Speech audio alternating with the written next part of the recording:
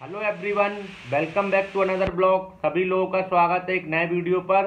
तो I hope सभी लोग स्वस्थ होंगे, मस्त होंगे और सभी लोगों ने अपनी प्रिपरेशन जो डीपी कांस्टेबल 2023 की स्टार्ट कर दी होगी। तो कल रात को एक नोटिस जारी किया है दिल्ली पुलिस ने ऑफिशियल आप दिल्ली पुलिस की वेबसाइट पर जाके देख सकते हैं। तो उसमें क्या जो कांस्टेबल ड्राइवर की ट्रेड टेस्ट है, वो अनाउंस कर दी है दिल्ली पुलिस ने। तो आपके ट्रेड टेस्ट कब से हैं? ये डेट जारी हो गई है। या क्या है उस नोटिस में? मैं आपको बताऊँगा। तो प्लीज़ आप ये वीडियो लास्ट तक देखना और जो भी मेरे भाई बहन डीपी कांस्टेबल 2023 की तैयारी कर रहे हों, जो भी फ्रेशर्स हों बिगनर्स हों, इन्हें दिल्ली पुलिस के बारे में कुछ नहीं पता हो तो उस चैनल को सब्सक्राइब कर लें। इस चैनल पर आपको दिल्ली पुलिस से रिलेटेड कंप्लीट इन्फॉर्मेशन मैं दूँगा। साथ ही साथ आपको कैसे तैयारी करनी है जीके जीएस के लिए आपके लिए कौन सी स्ट्रेटजी बेस्ट रहेगी? क्या आपको बुक्स पढ़नी है? सारा कुछ मैं बताऊँगा। और आपके जो भी कंफ्यूजन हो फ़िज़िकल से रिलेटेड मेडिकल से रिलेटेड आप नीचे कमेंट में पूछ सकते हैं। और साथ ही साथ आप इस चैनल पर जुड़ जाएँ। आप और मैं साथ ही दोनों मिलकर तैयारी करेंगे। क्योंकि मैंने पिछली बार की जो वैकेंसी थी डीपी कांस्टेबल 2020 की, उसका भी एग्ज़ाम क्लियर किया है। बट मैं फ़िज़िकल में रह गया था। और रिसेंटली ड्राइवर वाला भी जो चल रहा है अभी, उसमें भी मेरा एग्ज़ाम क्लियर है फ़िज़िकल क्लियर है तो मुझे जो कुछ दिल्ली पुलिस की नॉलेज है, मैं आपको उसके रिगार्डिंग बताऊँगा, जो भी मैंने फ़िज़िकल दिए हैं, सब कुछ तो आप इस चैनल पर जुड़ जाएँ सब्सक्राइब कर लें। तो मैं आपको बता रहा था कि कल जो एक दिल्ली पुलिस के द्वारा ऑफिशियल जो नोटिस जारी किया गया, उसमें क्या है? तो फ्रेंड्स उसमें जो दिल्ली पुलिस ने कुछ दिन पहले एक आरटीआई में बताया था कि पंद्रह हज़ार अट्ठाईस बच्चों ने फ़िज़िकल क्वालिफाई किया है। तो उस जो नोटिस में, वही पूरा डिटेल में दिया गया है कि आपके कितने लोगों ने फ़िज़िकल क्वालिफाई किया है, कितने क्या थे। तो मैं आपको साइड में यहाँ पर दिखाऊँगा। और कुछ छोटी बातें मैं आप, में उसमें से बताता हूँ कि आपके टोटल जो थे, छब्बीस हज़ार आठ सौ बारह कैंडिडेट थे जो फ़िज़िकल के लिए बुलाए गए थे। जिसमें से छः हज़ार चार सौ सतासी बच्चों ने, है ना, absent थे, वो प्रेजेंट नहीं थे, और बीस हज़ार तीन सौ पच्चीस लोग थे प्रेजेंट थे, मैं आपको बताता हूँ, जिसमें से पंद्रह हज़ार अट्ठाईस लोगों ने क्वालिफाई किया है, साथ ही साथ पाँच हज़ार एक सौ सैंतीस लोग डिस्कालीफाई हुए हैं टोटल फ़िज़िकल में, और मेरा सत्ताईस अप्रैल को फ़िज़िकल था ग्राउंड नंबर तीन में तो मेरे वाले दिन क्या आंकड़ा रहा?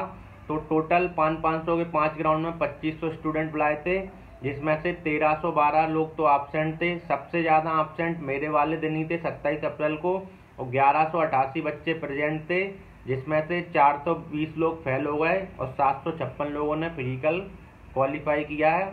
तो मैं आपको बताऊँ साइड में आप देख सकते हैं, यहाँ पर long jump high jump race medical document verification, height chest जितने ही बच्चे सारा बाहर हुए हैं, सारा कुछ आंकड़ा दिया है तो इस नोटिस में तो सिर्फ़ यही था। अब बहुत से यूट्यूब वाले इस नोटिस को दिखा के बोलेंगे कि आपकी ट्रेड टेस्ट जारी हो गई है ट्रेड टेस्ट की तिथि जारी तो आपको उन सब वीडियो से बचना है। और जो भी मेरे भाई बहन ये सोच रहे होंगे कि उनकी तीन साल की एज रिलैक्सेशन मिलेगी या नहीं मिलेगी बहुत से भाई ओवर एज हो गए हैं, क्योंकि आपकी जनरल की जो एज है कांस्टेबल में डीपी कांस्टेबल में 18 से 25 रहती है। तो मैं उन लोगों को आश्वस्त करना चाहता हूँ कि आपको तीन साल की एज रिलैक्सेशन 100 परसेंट मिलेगी, क्योंकि अगर आपको दिल्ली पुलिस के द्वारा नहीं मिलती है तो बहुत से बच्चे पिटीशन दायर करेंगे हाईकोर्ट में। तो वहाँ से आपको ज़रूर तीन साल की छूट मिलेगी, क्योंकि आपकी S S CRPF head constable ASI वाली भर्ती, और भी बहुत सारी भर्ती हैं जिनमें तीन साल का एज रिलैक्सेशन मिला है। तो आपको दिल्ली पुलिस में भी तीन साल का एज रिलैक्सेशन मिलेगा। जो भी भाई ये सोचकर तैयारी नहीं कर रहे थे कि उनको तीन साल की एज रिलैक्सेशन मिलेगा, उनका फॉर्म डल पाया कि नहीं तो वो भी अपनी प्रिपरेशन स्टार्ट कर दें। क्योंकि आपको पता है डीपी कांस्टेबल में बहुत ज़्यादा कंपटीशन रहने वाला है। पिछले साल भी जनरल की जो कट ऑफ़ थी seventy point seventy two point two point zero थी, बहत्तर दशमलव बीस।